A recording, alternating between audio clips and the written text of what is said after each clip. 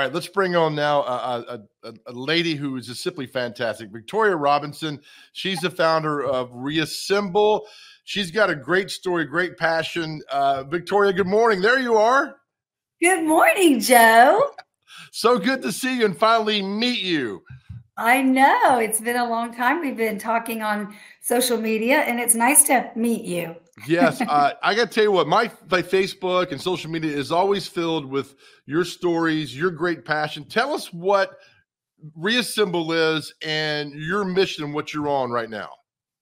Well, um, over 30 years ago, Joe, is what is how it started. I unfortunately believed the lie that abortion couldn't affect my life in any way. When I chose abortion, I was a single mother with two little girls, and I believed uh, that this was the best choice, and then found out very quickly that it wasn't. It was a choice that almost destroyed my life. And so it took about 10 years for me to finally ask for help. And when I did ask for help, a pregnancy center that was local where I lived offered me after abortion recovery. I didn't even know this this kind of help existed. I just came to the resolve that for the rest of my life, I was going to have to live with the guilt and the shame and the self condemnation and all of the things that come from choosing abortion forever because I'm the one who made that choice. So I was pleasantly surprised. My life was completely transformed by going through after abortion recovery myself. And so, what I said to those facilitators that helped me was teach me how to do this too because everyone needs to be able to have access to this kind of help. So now here it is two decades later, over two decades later, that I have been conducting retreats and one-on-one counseling and even Zoom group sessions for people who've had abortions. I, I like this. You sent me this note. I'm going to read it correctly. You started ReAssemble to help counsel and bring healing to women and men who may yes. be dealing with the aftermath of their abortion. Why is it important, Victoria, to involve men in this? I'm so glad you brought that up, Joe. One of the things that we have done as a society is basically said to men, sit down, shut up. It's not your body. You don't have any say in what she chooses to do. And a scientific fact for everyone, if you're paying attention, is that it's not her body either. And that child has two parents. And the way that it came about, Joe, is when I up until the time I wrote my book, They Lied to Us, which is stories from women who've chosen abortion, I had this hatred that had built in me towards men about abortion because I believed the lies. It's their fault. They make women do it. They're they're sleeping around, getting them pregnant, and then they don't have any kind of re- repercussions from it. Well, when my book came out, I called the father of my child that we decided to abort and that he did pressure me to do. And when I called him, expecting him to say, So big deal, why did you even call me? It had been over a decade since we spoke. And when he heard my voice and all I said was, Hey, it's me, he began to weep. And he cried so hard, Joe, I couldn't even understand what he was saying.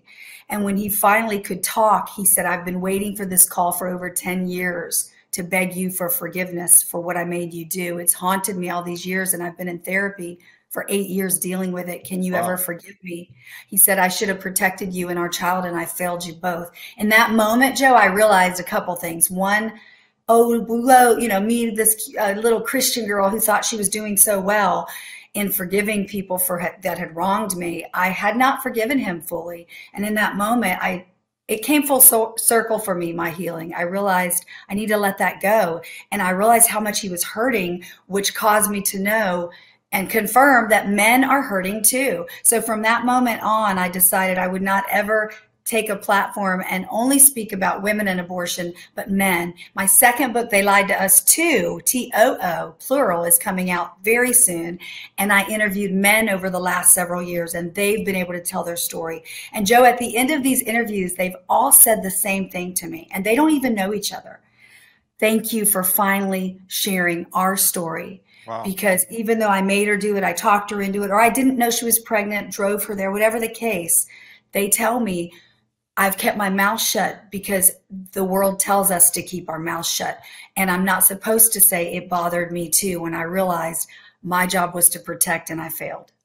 Victoria, if somebody's watching today and uh, you go all over the country speaking on pro life, and I know you've heard some heartbreaking at the same time, some incredible stories. If somebody's in that dilemma you were 20 years ago this morning and they're confused, what's the first step they should do? The first step they should do is find someone that truly cares about them, that they trust, and just take a deep breath. I would say take a deep breath. And if you're the person they come to, you take one too. And we don't need to react. There are local pregnancy resource centers across this country that are doing an incredible job, Joe, of helping people that are in the situation I was in over 30 years ago. So I wish I'd known about them because if that had been the first phone call I had made, they would have invited me in. They would have talked about my options, they would have probably showed me an ultrasound, which would have proven I wasn't carrying a blob of tissue, but a baby. And my life could have been different. So I would say, calm, stay calm. It's going to be okay. And abortion is a permanent solution to a temporary problem. And there are so many resources to help you. So get in touch with me. I, I promise to help you find the resources you need you go all over the country talking on, on pro life with all this and it, it, will you always i mean this will always be your passion? I think no i don't think i know till the day i'm dead that i i don't know how i can keep my mouth shut joe because first of all the abortion industry is a multi-billion dollar business that is preying and manipulating on women in the most vulnerable time of their life. They need to know the truth that there are other options before making that choice. The the second thing is that the after abortion recovery is so important to those millions upon millions of men and women who are sitting in churches every week and they don't know where to go because most pastors aren't even talking about this issue. So I challenge churches and pastors all the time. If you're not talking about it, your um, parishioners that are sitting in church who have had abortions when one in three people has had an abortion, they're thinking if my own pastor won't discuss it, that's how bad it is that God can't forgive me. This is the one sin. And that's simply not true. So people need to know there is freedom and there is healing after you choose abortion. So nope, I don't think anyone will ever be able to shut me up. Even all the trolls and the and the meanies and the and the cotton-headed ninny muggins out there, Joe. they're not they're not going to be able to keep me quiet. Uh, well, keep fighting the good fight, Victoria. I again, I, I love passionate people, and what you're doing is passionate. Uh, when's your book going to be out? The new book? Uh, it's in its right now. It's gone to print, so I'm just waiting for the copies to come. It'll probably be we're pushing for the end of the year, but no later than January. So I'm pretty excited about that.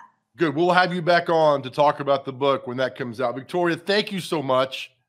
Thank you so much for having me, Big Joe. Wish All we right, were we'll talking see. about dogs and stuff. Next time we will. Next time we'll do that. All right. All right. Thank you, Victoria Robinson, the founder of ReAssemble, and she's on a mission. You heard her passion right there, uh, and she's such a great follow on social media.